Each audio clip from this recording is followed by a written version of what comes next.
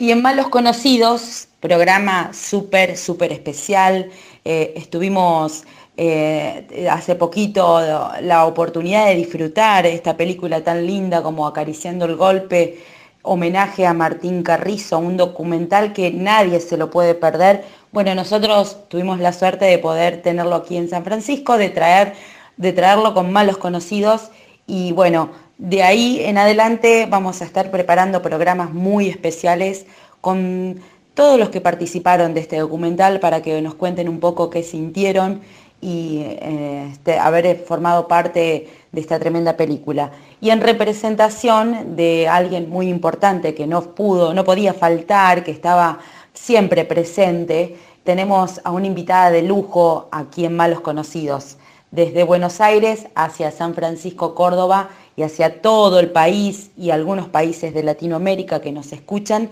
tenemos la dicha de tenerla un ratito con nosotros a Laura Cerati. Bueno, Laura, gracias por brindarnos este espacio hacia nosotros, por eh, dejarnos un ratito de tu tiempo hacia malos conocidos.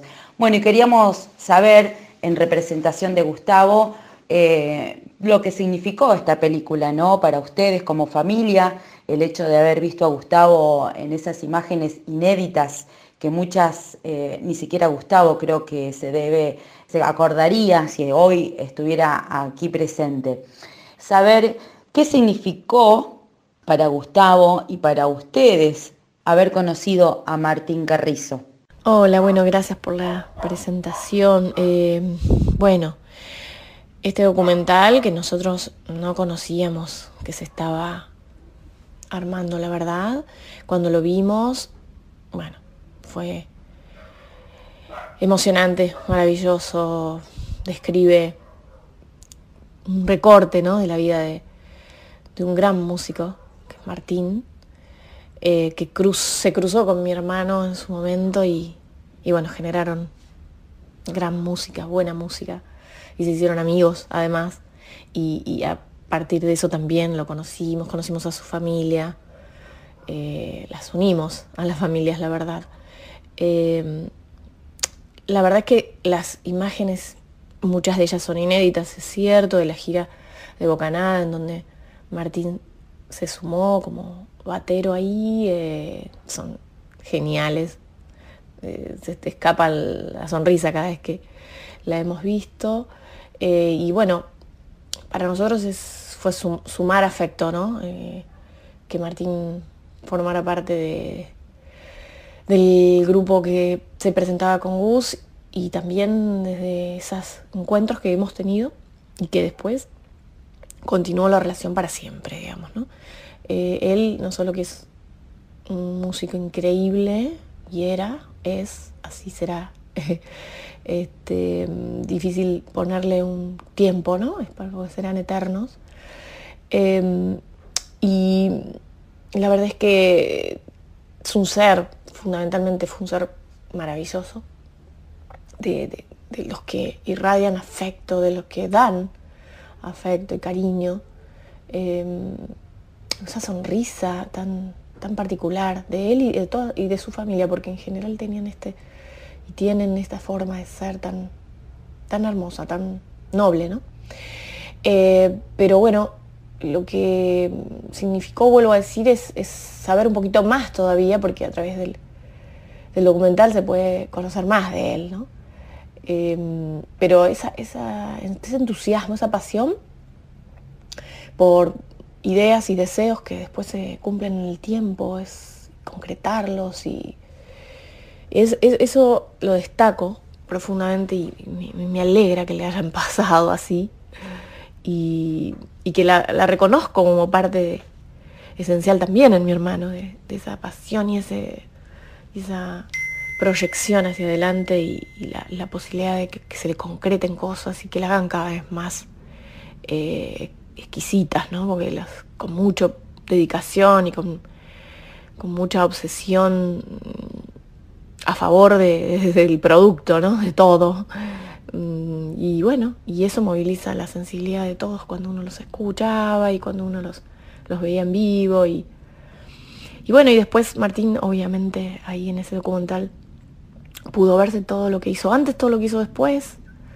Eh, entonces, es una carrera destacada y, y, bueno, forma parte de nuestro corazón para siempre eh, y, y, es eh, valioso que la gente pueda realmente ver este documental porque recorta parte de, lo que fue y es una historia de, vida profesional, ¿no? Y humana también.